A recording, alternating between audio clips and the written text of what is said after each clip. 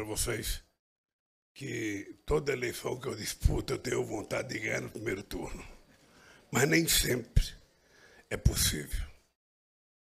Há uma coisa na minha vida que me motiva, me estimula e me faz renascer a cada dia, que é a crença de que nada acontece por acaso. Nada acontece por acaso.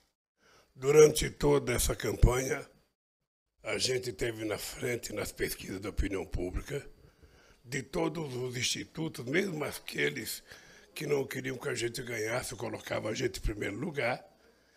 E eu sempre achei que a gente ia ganhar essas eleições. E quero dizer para vocês que nós vamos ganhar essas eleições.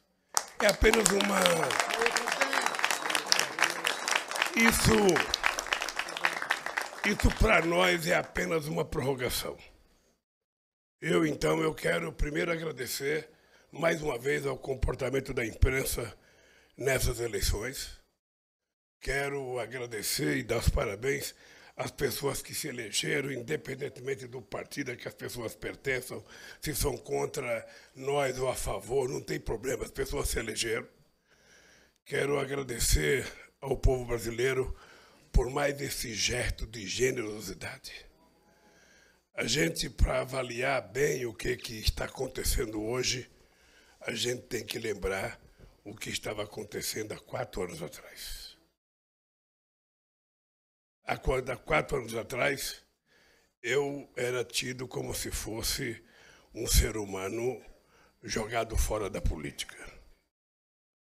Ou seja, aí eu disse que a gente retornaria, retornaria com mais força, com mais vontade, com mais disposição, porque a única razão da gente parar de lutar é o dia que o povo brasileiro tiver outras centenas e centenas de lideranças que consiga fazer com que eles conquistem aquilo que eles precisam para melhorar de vida. E vocês sabem que o nosso país está pior. Vocês sabem que a economia não está boa, vocês sabem que a qualidade de vida não está boa, que a renda não está boa, que o emprego não está bom, que a saúde não está boa. E que nós precisamos recuperar esse país, inclusive do ponto de vista das suas relações internacionais.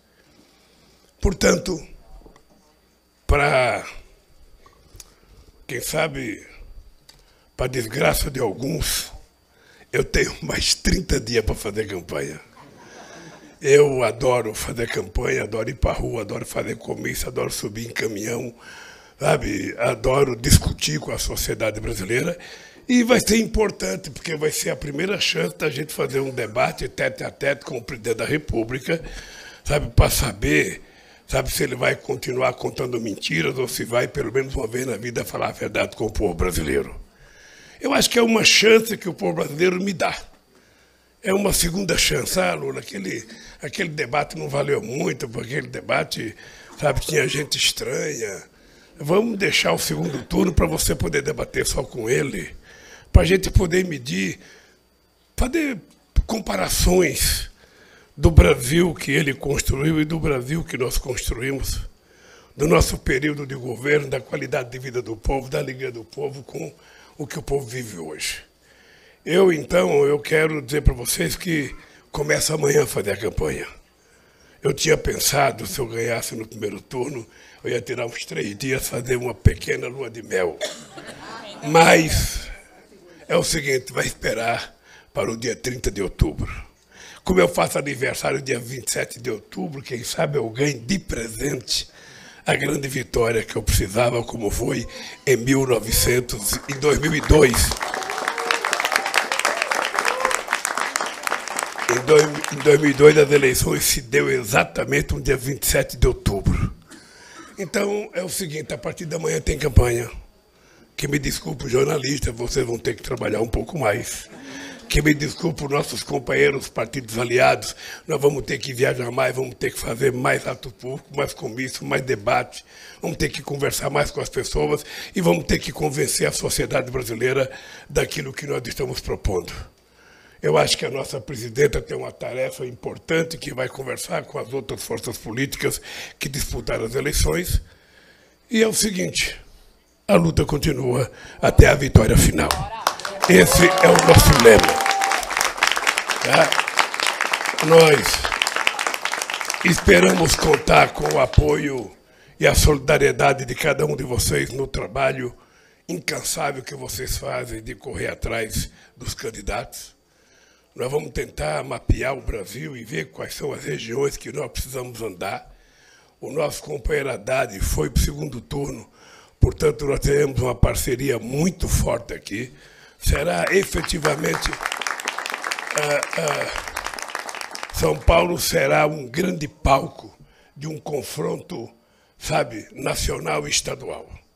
Sabe, é um confronto de ideias, é um confronto programático, é um confronto de proposta para a sociedade.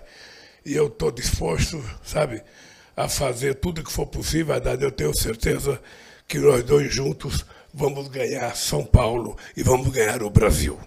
Por isso que nós vamos precisar de vocês. O que, que nós vamos precisar de vocês? Disposição de andar atrás de nós. De escrever aquilo que a gente fala tirando as bobagens que não é por dentro publicar, aquilo que a gente falar de bom, vocês podem publicar. Eu estou com inteira disposição. Ah, nós vamos sair daqui agora, vamos para Paulista, porque tem gente lá, vamos conversar com o povo. E a partir de agora, Janjinha acabou na zona de mel. Se prepare, porque nós vamos trabalhar. Você vai continuar cantando as musiquinhas. Aproveitar que a Daniela América está aqui, que ela pode cantar, ela pode subir com você e cantar no palco para que a gente devolva a alegria. É apenas uma, uma trégua, Eduardo Suplicy, é apenas uma trégua. Sabe, são 30 dias que você pode trabalhar um pouco mais, se matar um pouco mais, pedir mais votos, para que a gente possa, no dia 20, 20 dia 30, 27 ou 29? 28. 28 de outubro, a gente possa comemorar. Hein? É dia 30, gente. É dia 30, gente. É dia 30. 30, ninguém esqueça, dia 30 nós vamos, sabe, estar em palco outra vez, tá bem? Gente, de coração, obrigado a vocês. E, sobretudo, obrigado ao povo brasileiro por mais este gesto de generosidade. Tá? Eu, eu nunca ganhei uma eleição no primeiro turno. Toda eleição que eu disputei foi no segundo turno, todas. Sabe, o que é importante é que o segundo turno é a chance de você amadurecer as tuas propostas e a tua conversa com a sociedade. É de você construir um leque de alianças, um leque de apoio, antes de você ganhar, para você mostrar para o povo o que, que vai acontecer, o que, que vai governar esse país.